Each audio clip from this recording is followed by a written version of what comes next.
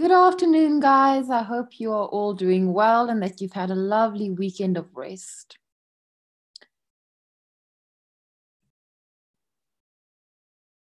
All right, so today we are going to look at vision and we will look at defects of the eye, um, astigmatism, nearsightedness, and farsightedness, and we'll also look at cataracts. And that's it. Let me see who's here today. Oh, I had a lovely, lovely weekend. And it's so nice and warm. I'm sitting in the sun with my cat on my lap. So I'm in a very, very happy mood right now. All right, so let's start looking at um, today's work. Now, um, we've focused on the part of the eye already, and you need to know the anatomy, the functions. Uh, you'll never be asked to draw, but you will be provided a diagram. Remember that the eye is divided into three layers, the inner, the middle, and the outer layer. And if you study each layer on its own, it makes it a little bit easier. Today, we are going to look at binocular vision and the importance of binocular vision. We will look at the changes that occur in the human eye for um, accommodation and the pupillary mechanism. And we will also look at the treatment of the following visual defects uh, short-sightedness, long-sightedness, astigmatism, and cataracts. Again, this is part of the responding to the environment. Um, it includes the ear and the nervous system, and it's 40 marks in paper one. So let's begin. So this is, this is not for the exam, but it does show you how your eyes work and how your mind sometimes get tricked. So you are going to stare at the middle hmm. yellow stripe of the fish for about 20 seconds. I'm going to give you 20 seconds. Just stare at that middle yellow stripe, and then you turn your focus to the fish bowl, and then tell me in the chat what you saw. What happened? Stare at the little yellow stripe in the middle of the fish for about 20 seconds, and then move your gaze to the fish bowl and tell me what you observed.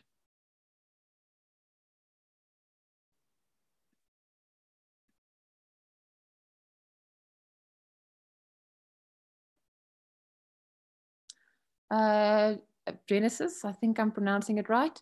Um, I will look into why the lessons aren't available, and then I will. Um, you, the lessons will be uploaded today, though, to the Twitter account. So you go to the Twitter account. All right. So uh, Kylesy sees a uh, the outline of a fish or a yellow fish.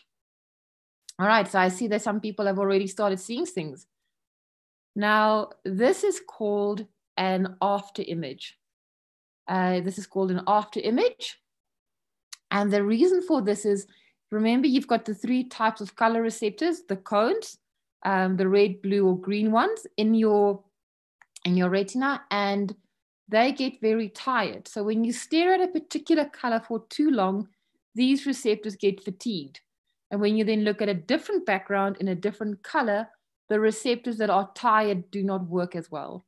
And therefore, the information from all of the different color receptors is not in balance, and this will create the after image. So you saw a, a yellow fish, um, and it was just because your color cones were a little bit fatigued. They were tired out a little.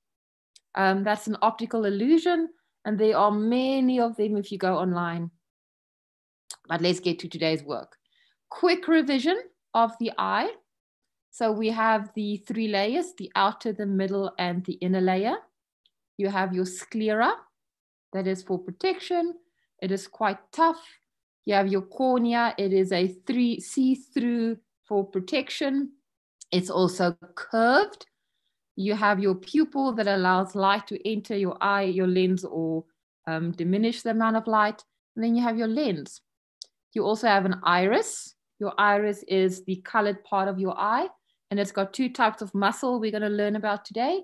They either, either relax or they constrict, they pull tighter. You have your ciliary body and you have your choroid. Now remember the choroid's got all of those dark pigment that absorbs all the light and then you have your inner layer, your retina, where the cones and the rods are found. You have your vitreous humor. This is a jelly-like substance. And you have your optic nerve. And those are the three layers of the eye. For today, we are going to focus on the front part of the eye and what happens when we see. Quickly check for questions. All right, so just make sure. Now there's another fun thing to try at home and um, this is an introductory into the binocular vision. So what I want you to do is you can either use pens or pencils, or you can just use your index fingers, your pointer fingers. Um, and you need to, you need to, um, depth perception is the ability to judge objects that are nearer or farther than others. And to demonstrate the difference of using one eye versus two eyes to judge depth, you need to hold out a pencil in each hand or a pen, or you can just use your index fingers. So stretch out your arms in front of you, if you're using your fingers, and point your index fingers towards each other. So you stretch out your arms as far as you can and you point your fingers to each other, or you hold your pencils in your hand with the tips to each other or the ends to each other. Now you need to close one eye and try to touch the end of the pencils together or try and touch your fingertips together. You can switch between your left eye and your right eye and then try with both eyes. So if you've tried the left eye, you've tried the right eye, and you've tried both eyes, you would notice that trying with two eyes is much, much easier. And this is because each eye look at the image from a different angle and then in your brain they overlap. So if you only use your left eye or you only use your right eye, your brain will only get information about the position of your fingertips or the position of the pencil tips from one eye. If you use both eyes open, it's much easier to point exactly where that position is and they can, you can touch them much easier. a demonstration, I'll put, a, I'll put the camera on. Let me see if I can do that for you.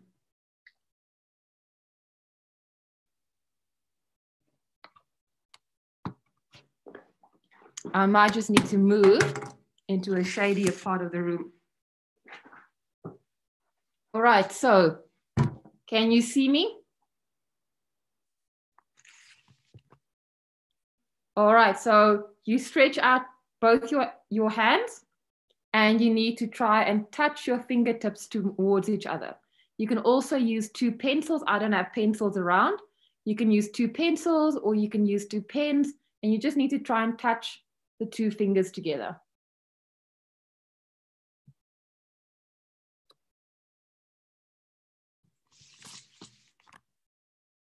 Now you would have noticed I am wearing glasses because I am short-sighted and I have astigmatism um, and I have problems with depth perception. So um, that is kind of cool, isn't it? That if you only view it with one eye, it will be very difficult for you to touch the end. But if you use both eyes, it might be much, much easier.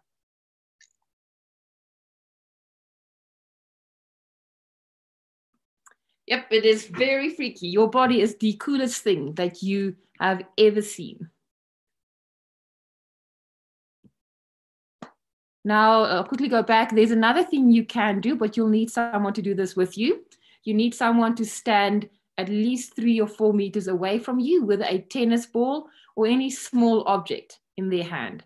And then you can toss the ball or the object towards each other. You catch it and you throw it back to them. If you close one eye and they throw the object up into the air, it will look as if it comes towards you. And then you will pretend to catch it and look silly. So and there's another thing you can do to check out how depth perception work. If you try to catch a ball with one eye closed and someone throws it up into the air, it will look as if it comes towards you. All right, so we are going to switch between uh, screens and we're going to learn a little bit more about how your pupil works. We're going to learn a little bit more about your pupil. Now, the pupil controls the amount of light entering your eye. If you are in very bright light, we tend to squint. So we close our eyelids a little bit, but our pupils also become much, much smaller. The word for smaller in science is constrict. It becomes smaller or narrower. If we are in very dim light or in the dark, your pupil will dilate. It will become bigger. So let's see how this works. I'm going to first demonstrate with the website and then I will, now we remember this, we use this for the anatomy of the eye. Now where I would like you to focus is look at what happens to the pupil size. Look, and, look what happens to the pupil. It either becomes uh, bigger, the, the opening, or smaller. And you can also look at these ligaments, the suspensory ligaments. So pay attention to the pupil and pay attention to the ligaments. Uh, no, if, if you are wearing glasses, um, you don't have to take them off. Depth perception is usually affected if you have one eye or two eyes. Use one eye for vision or two eyes for vision. Depth perception is all about using both your eyes. It's got nothing, your glasses might just help you to see the ball or the object coming towards you. Now I'm gonna move this slider around. You'll see that a little blue eye appears and it's just much easier to see the dark pupil against the blue background. So pay attention to the brightness, what happens to the opening of the pupil and what happens to the ligaments. So if I increase the brightness, you will notice that the pupil becomes narrow. So it becomes smaller. The pupil is smaller. And you will also see that this opening, the pupil, is much, much smaller, so less light can enter. So less light can enter. So the pupil is smaller, it, it allows for the certain amount of light to come in. If the opening is narrow, not a, light, not a lot of light can come in. If you are in dim light, so if it's darker, you can see that the pupil is dilated it's much, much bigger. And you'll see the opening has opened up so that more light can enter your eye.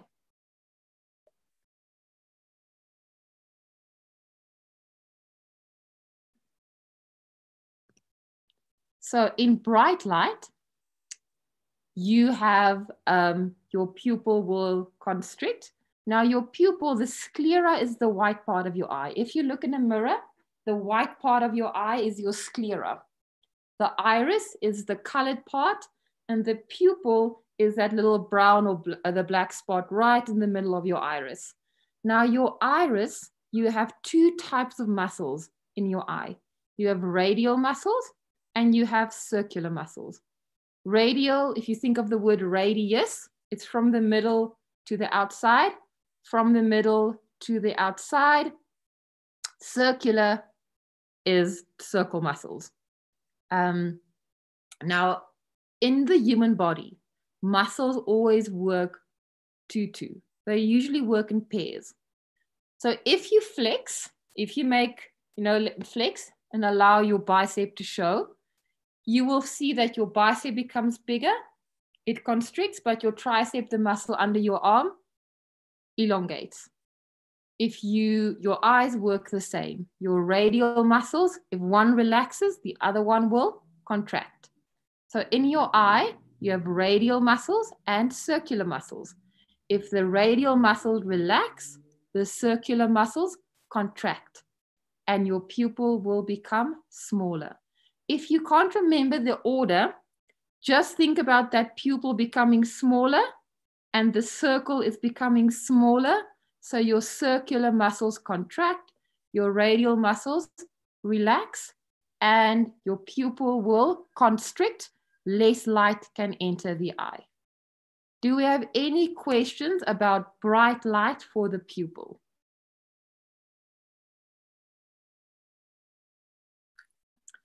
Right, Mipo, I will answer your question right at the end. All right, I'll answer right at the end. What causes corneal arcus? Right, let's go to our, are we all fine with bright light? Let's look at what happens in bright light. Your circular muscles contract, your radial muscles will relax, and the size of your pupil will become smaller.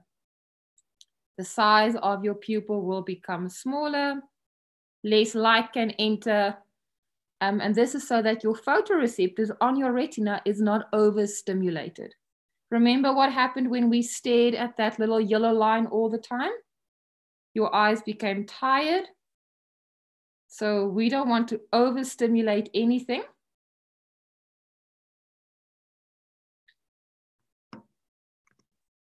In dim light, the exact opposite happens.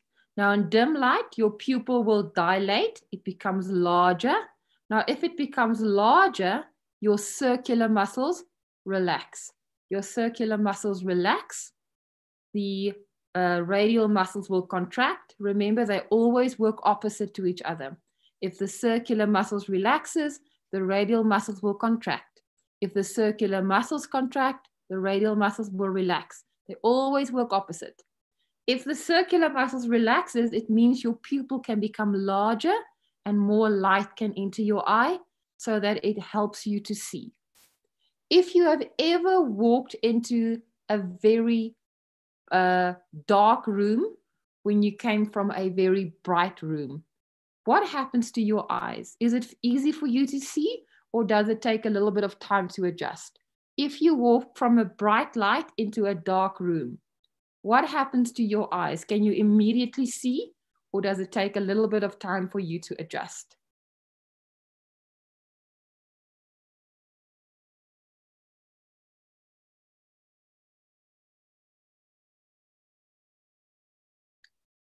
Let me quickly see what the answers is here. It does take a while to adjust. All right. It does take your eye to adjust. And I've learned a little trick that someone taught me once. If you blink two or three times as you walk from a bright room into a darker room, it does help your eye to adjust a little bit faster. But it's just the time it takes for those muscles because remember, you come from a very bright room. So your circular muscles are constricted, they are not relaxed, and they need to relax now to let in more light. So it takes your eyes a little bit of time to adjust, walking from a dark room into a light room. And the same happens the other way around.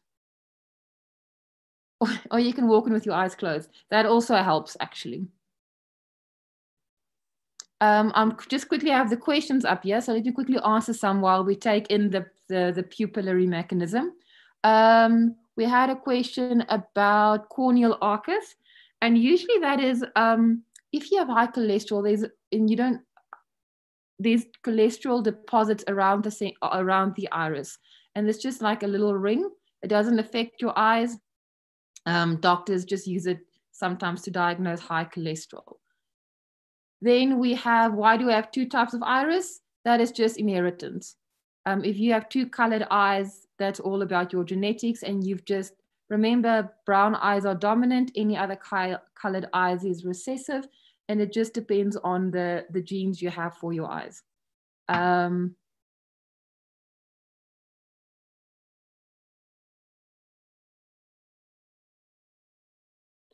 uh, can your pupil get damaged? Well, your pupil is just an opening, but your radial muscles or your um, circular muscles can be damaged, but that's part of your eye and part of your iris.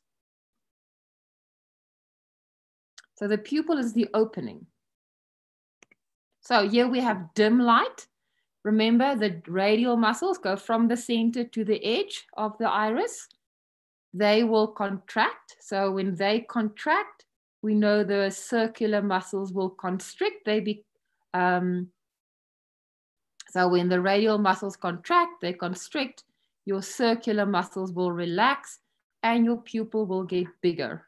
It will widen you allow more light in and you can see easier in the dark.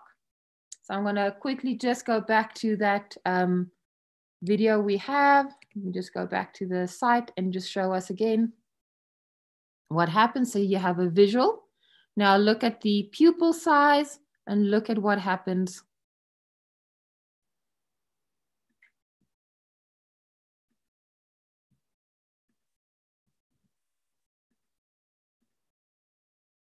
All right, so here we have bright light, very bright light. Your pupil will constrict, it will become smaller. the circular muscles will contract, the radial muscles will relax. Then if you walk into a darker room or it becomes nighttime, your pupil dilates, your circular muscles will relax, and your radial muscles will constrict. The two always work opposite of each other.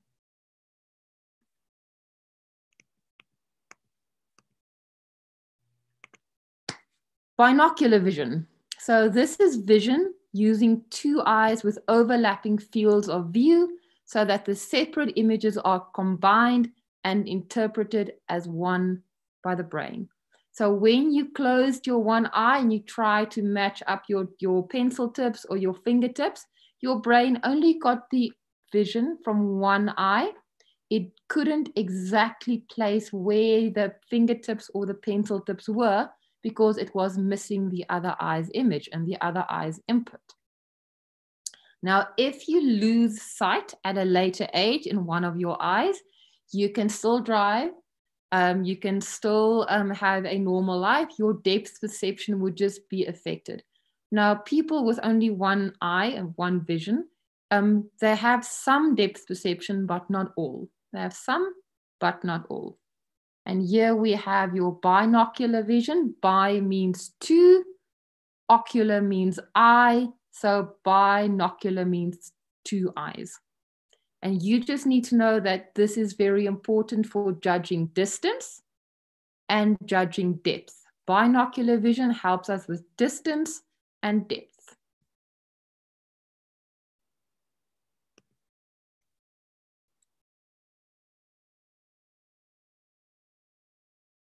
Right, so here's another image just to um, see if you throw a ball at someone and you close one of your eyes, it will be very difficult to catch that ball.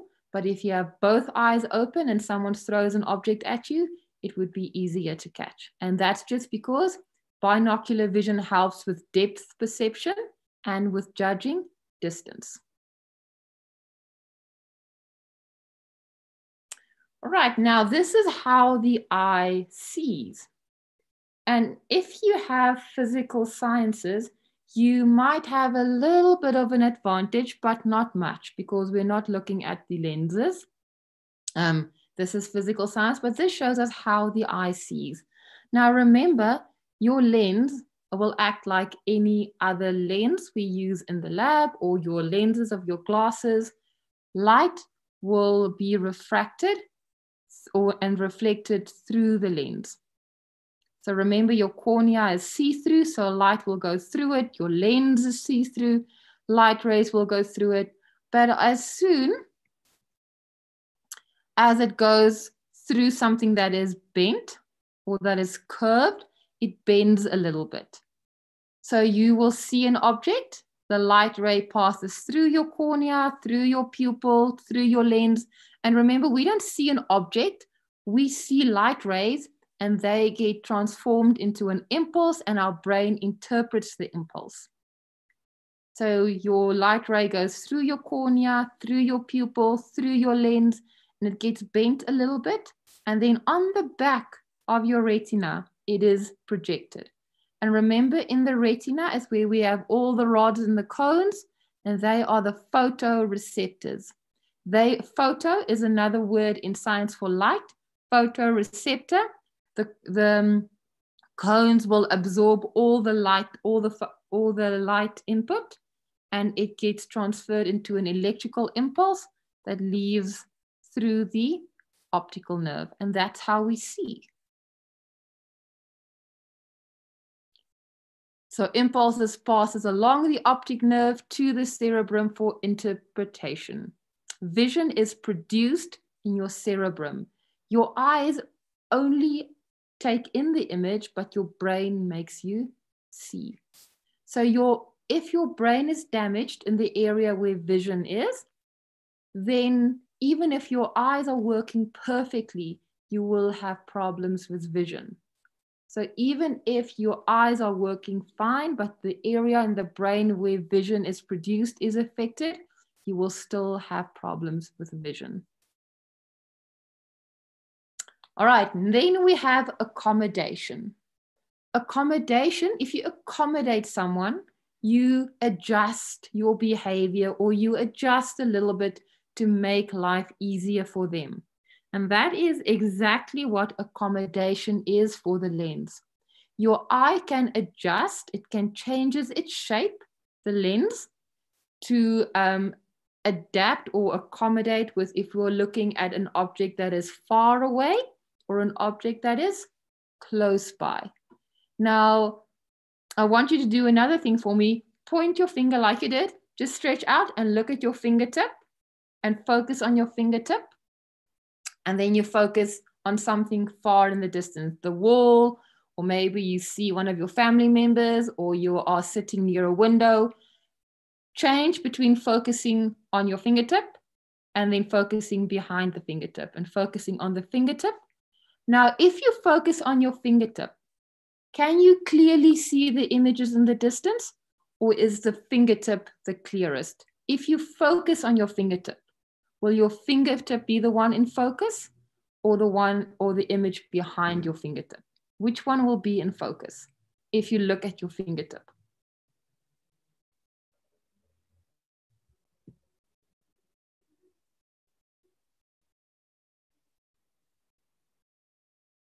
All right, your fingertip. Ooh. You will, gosh, your fingertip. So if you focus on your fingertip, your lens has accommodated to focus on your fingertip only, and everything behind your fingertip will be blurry. But if you focus on something in the background far away, your fingertip will be blurry, but the object in the back will be very, very clear. So let's see how accommodation works. So you've got your ciliary muscles over here. You've got your ligaments. You remember your ligaments is attached to your lens. And convex means it bulges out. There's a difference between convex and concave. Convex is when it's more shaped like an egg or a rugby ball. And concave is when um, it is shaped uh, almost like a Y. It's, it's a different shape. So convex is when it's more rounded. Now, if you near vision, if you focus on an object very close by, your ciliary muscles will contract. Now remember, two things work opposite each other. If your ciliary muscles contract, they become tighter. Your suspensory ligaments will slacken and your lens becomes more convex. It becomes more rounded. So if these muscles contract, the ligaments will relax. And if they are relaxed, they are not pulling on the lens so much and the lens will become rounder. It bulges out, it becomes rounder. This makes it easier for light rays to bend to bend more and a clear image is focused on the retina. A clear image is focused on the retina. And the exact opposite happens when you have distant vision. Your ciliary muscles will relax. Remember, if they relax, your ligaments will become tighter. And if they become tighter, they pull your lens out a little bit and your lens will become flatter. Less convex, it will become flatter and the light rays will bend less and you will have a clear image. So let's see if we can see that in practice. Let's look at that in practice. Oh goodness, all these sites I've opened. Now this Vision Direct is a wonderful website to go to. It's actually a type of optometrist, but they've made these available for us to understand vision and understand how the eye works. Um, so here you have your lens. Let's just look at the little pluses. You've got your lens. And remember, you've got your ciliary muscles and you've got your ligaments. So if the ligaments are relaxed, the muscles are tighter. If the ligaments are tighter, the muscles are relaxed. Here you have your cornea. Your cornea is also convex in shape and it allows for light to pass through. It is clear. So the sunflower in this image is close The mountains are far away. And remember, we are going to focus on what happens on the shape of the lens and what happens to the image. So here it's in the middle. So the sunflower and the mountains are in focus. So if we focus only on the sunflower, we want to focus on the sunflower. Did you see that your lens became more convex? Your lens became more convex and these ligaments relaxed. The suspensory ligaments relaxed, which means that your muscles contracted a bit. And you focus on the flower close to you, and the mountains that are far away will be out of focus. If we go back to the middle, now we want to focus on the mountains. What do you think will happen to your lens? Will your lens be flatter, so less um, convex, or will it be more convex, rounded? If you want to focus far away, will your lens be less convex or more convex? Let me see some answers. Yep, less convex. Well done. So let's focus on the mountains behind us. I find it very funny that there are snow on the mountains and sunflowers. So here we have focused on the mountains. We can see that the flower is out of focus. The mountain is in focus because we are focusing on something far away. These ligaments have tightened up. Your lens is flatter and the muscles are relaxed. And this helps us to focus far and near. Let's quickly do this again, just one more time. So we're focusing near, that eye is becoming, the lens is becoming rounded and the muscles are constricted, the ligaments relax. And if I focus on the mountains in the distance, my lens become flatter, so it's less convex. That if it's less convex, it means that the ligaments have uh, constricted a bit and the muscles are relaxed. So if you remember anything from today is that things always work antagonistic. They work opposite each other. If one's relaxed, the other one will constrict. And this is distant vision. Now we have common vision defects. Common vision defects, and we're going to focus on three. Nearsightedness, farsightedness, and astigmatism. And you can have astigmatism and be farsighted, or you can be nearsighted and have astigmatism. Now, if we look at nearsightedness, your lens will refract too much and your image will be in front of the retina. In farsightedness, there's not enough refraction. Refraction is when this light comes in and it bends. It doesn't bend enough the light and it will be focused behind the retina. And if you have an asymmetric refraction, so your lens isn't smooth or it's shaped a little bit not in an exact convex shape, then the light rays will refract all higgledy-piggledy and they'll be all in different refractions and no image will occur. Um, I have astigmatism and the optometrist once explained to me that astigmatism is having like a corrugated iron roof for a lens. There are a lot, it's not smooth. It's not smooth, it's a little bit misshaped. And that's why the light is refracted, not in one single way, and you won't have a single image that forms. So let's see how they fix it, because all of these are easy to fix. All right, so here we have lenses. Let me quickly just show you the lens. So we are very familiar with convex because our cornea is convex and our, our own eye's lens is convex. It's shaped a little bit like a rugby ball, it bulges out. Concave goes in. Concave goes in, and this is why I said it looks a little bit like a flower vase or like the letter Y. It goes in, concave. We can see with when you have a convex lens, light rays pass through and then they bend. And when they bend, they form an image where they all meet up. With concave, they bend out away from each other so they don't meet up. And these are the two types of lenses we use to fix nearsightedness or farsightedness. So in nearsightedness or short-sightedness is when a person can see nearby, but they can't see distant objects. Nature of the defect. So when you look at distant objects, remember when you look at distant objects, your lens becomes a little bit flatter. The light rays focus in front of the retina, causing blurred vision. So there are a few things what that might cause us. There's not only one. Your eyeball is too long. So when that lens stretch out a little bit, it relaxes. It's not enough. It's not flat enough. Your cornea is too curved. So your cornea is, remember, over your, over your eye. It's protective. Is not curved enough.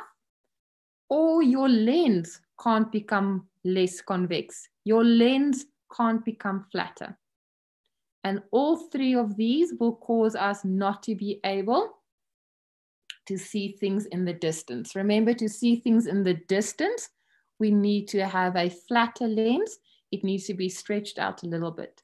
Three things, your eyeball is too long, your cornea is too curved, or your lens can't become um, less convex or flatter.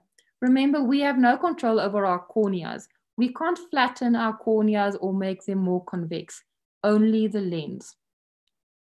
Now, wear glasses with concave lenses. I'm quickly going to skip back to the lens. If your eye is too convex, they balance it out with a concave lens. So if your eye is too convex, if it's too convex, then they balance it out with a concave lens. So here we have nearsightedness or short-sightedness. The fancy medical name for that is myopia. So the image forms in front of the retina. It's in front of the retina, not on the retina. And it is because you can't, you, the, your lens is too curved. You can see close objects, but you can't see things in the distance. Here we see the light rays that come in, the image is in front of the retina and they fix it by giving you a concave lens and that balances out your lens, your actual eye lens that is too convex. And the image will still be on the retina. Any questions about nearsightedness, short-sightedness, myopia? They're all the same thing. Any questions about this?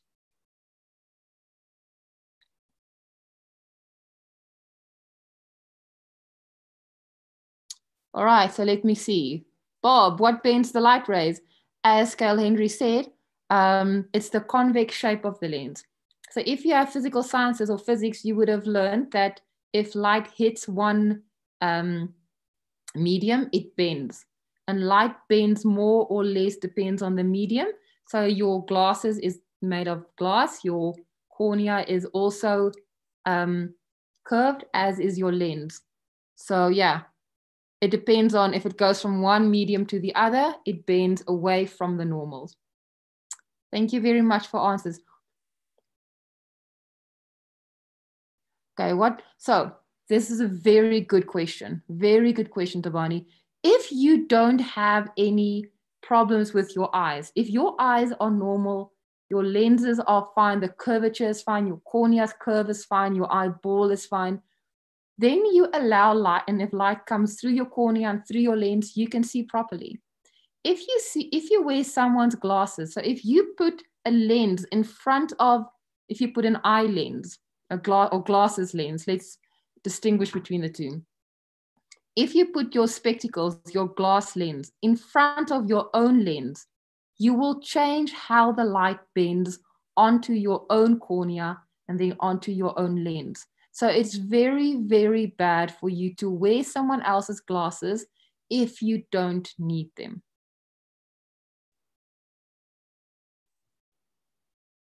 All right, what exactly makes your eyes see things closer than they appear? It's the bending of light. So if you stand, especially if you like fishing um, and you stand above water, because water bends differently in, a light bends differently in water than it does in air, things will look closer when it's underwater than when it that it actually is. And it's just because the way light bends. But it's not your eyes, it's the way it's in physics, how light bends. Um, how is astigmatism corrected? Again, it's just the type of lens they give you. So they give you a lens that will even out how the light rays um, is dispersed. And they can test your type of astigmatism when you go to the optometrist. They can see exactly what the degree is. So astigmatism is, is measured in degrees. And it's just fixed with, with a lens, uh, glasses. All right, so I hope I've answered those questions. Um, very bad to wear glasses if they're not yours. They will damage your, they're not good for your own sight and you will see, um, you won't see as clear with someone else's glasses because the light rays are bent differently. And things appear closer than they are because of the way light bends in different media. For example, in water or in air, light bends differently. Okay, long-sightedness or far-sightedness or hyperopia occurs when a person has the ability to see distant objects, but is unable to see objects clearly nearby. A lot of older people have reading glasses because they are far-sighted or long-sighted. They can see things six meters away, but they struggle to focus close. So when you look at nearby objects, the light ray focus behind the retina and you have blurred vision. So if you have are far-sighted or long-sighted and you read without your glasses, you will become very tired and the letters will be blurry. Now this is when your eyeball is too short it's too round. Your eyeball is too round. Remember, for it to be long sighted, to see things far away, it needs to flatten out a little bit your lens.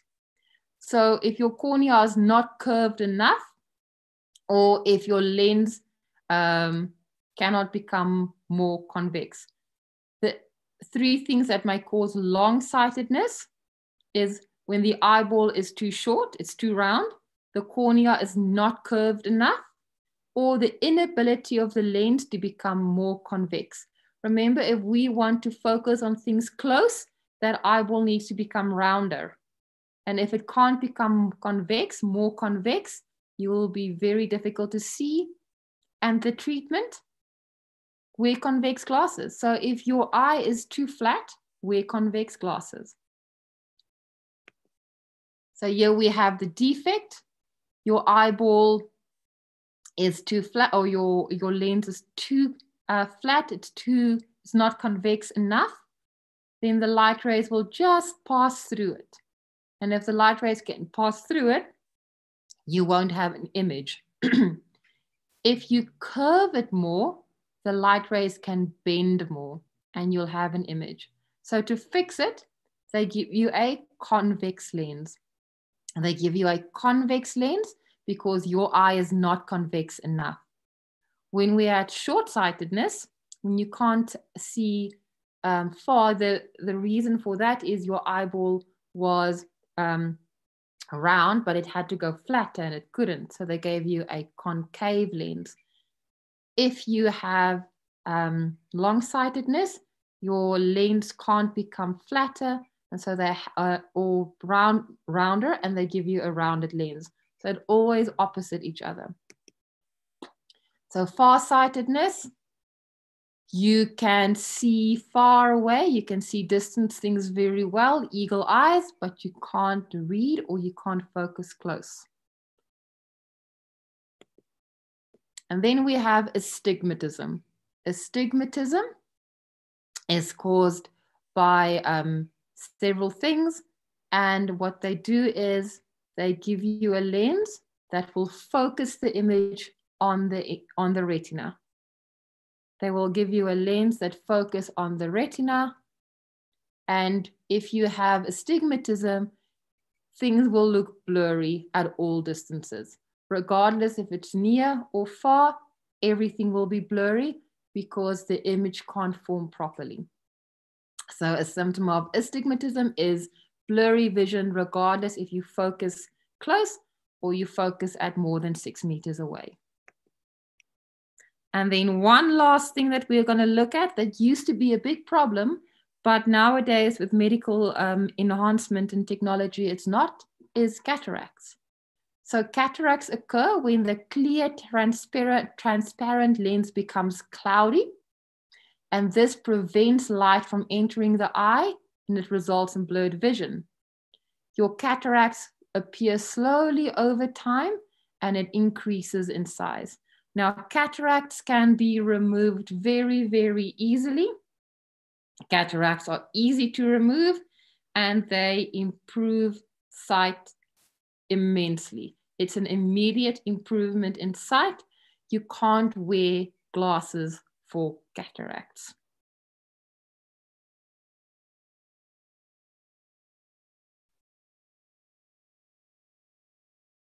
Okay. Any questions about astigmatism, cataracts, nearsightedness, or farsightedness? Oh, I see we're already almost over time. So this was the last, last lesson. So I've got here something um, about astigmatism. The image bounces around because your lens isn't smooth. It's a little bit rough. And so the image bounces around and you do have blurry vision. So that's what causes the blurry vision. Bob, you are right. Um, so um, astigmatism is just is just cor corrected with a lens. And then I have a question here about, let's go through the questions. And then I think we will call it a day. See if we've got everything done. Yep, we've got through all the lesson. Tomorrow we'll be looking at exam papers. Um, and then presbyopia, presbyopia is um, course when your eye's elasticity uh, or your eye is no longer as elastic, your lens. And remember, your lens need to change shape. So if your lens can't change shape, if it's not as elastic anymore, you will have nearsightedness um, or yeah, farsightedness that is caused by your lens not being as elastic. And that's it. So that is astigmatism, nearsightedness, farsightedness, and how your pupil works, all wrapped into one. Go try the, the, activity with playing with a small object or a ball, have someone throw it at you, try to catch it with one eye closed, much harder. And that's it. So tomorrow we'll be looking at the eye, the parts of the eye, how the pupil works, how we see uh, vision correctness. We'll look at all the exam papers and we'll do a Kahoot. And I love I hope you guys had a good time and I hope you learned a little bit about your eye. And that's it. Have a lovely, lovely day, guys. An hour flew by. So have a lovely day. Any questions, please leave them in the comments. I'll be on the chat. I'll be here for a little bit. And that's it for today.